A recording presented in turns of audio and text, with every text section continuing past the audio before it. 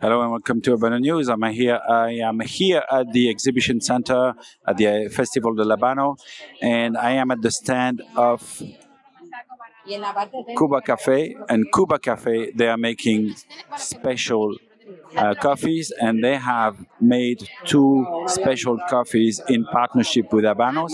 One is called Montecristo Deleggend. The other one is called Cohiba Atmosphere. Special blends made by uh, in coordination with Cuba Cafe and Habanos Sommelier to, to coffees to drink with uh, your cigars. So I'm going to ask the lady here to uh, give us more information. Uh, they are um, single origin coffee, 100% uh, Arabica, of course, top top of the brand.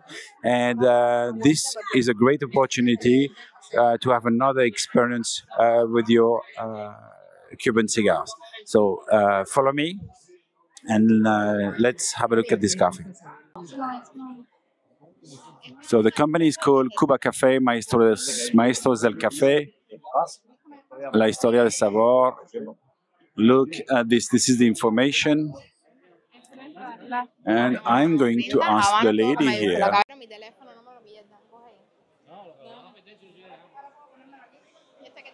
So as you can see, there is a Cohiba atmosphere and a Monte Cristo box. Beautiful boxes, beautiful design as usual. And I'm going to ask Suellen. So Suellen, thank you very much. Uh, can you tell us uh, a bit more about uh, the two different coffees that you have in partnership with uh?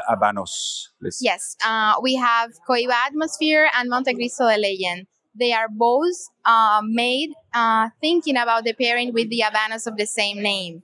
Cohiba atmosphere, the main difference they have is the, the, the, the denomination of origin. I'm sorry. Um, Cohiba atmosphere comes from Sierra Maestra, Sierra del Escambray, El Nicho, that, that is in, uh, in the center of Cuba. This coffee is made with 100% Cuban coffee of the quality of the coffee beans uh, Crystal Mountain and Turquino. And the other one, Montecristo Deleggend, the, main, the, the, the, denomination of origin is Alto La Meseta Sierra del Escambray. That's in the eastern part of Cuba.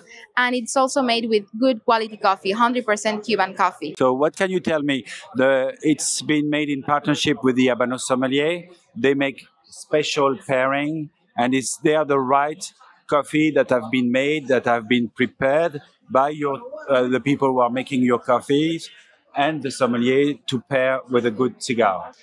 Since the beginning, it, it, it was uh, it was made thinking about the pairing with the Habanos. It was made in 2002, and it also has the expertise of our uh, Cuban masters, Cuban roast, roasters, and then they came up with these two uh, coffees. Okay, I, I drank, I tried both. I, I knew before the Cohiba atmosphere. Uh, I tried the Monte Cristo.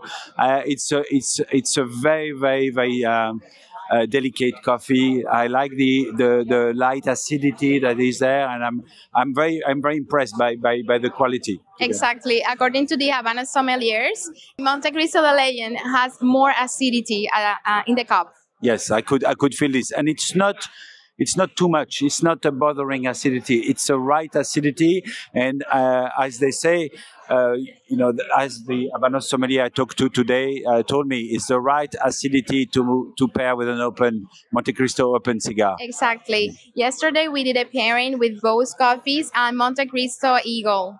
Uh, uh, Habano, Habano Monte Cristo Eagle. Yes, and they told me that they were very impressed.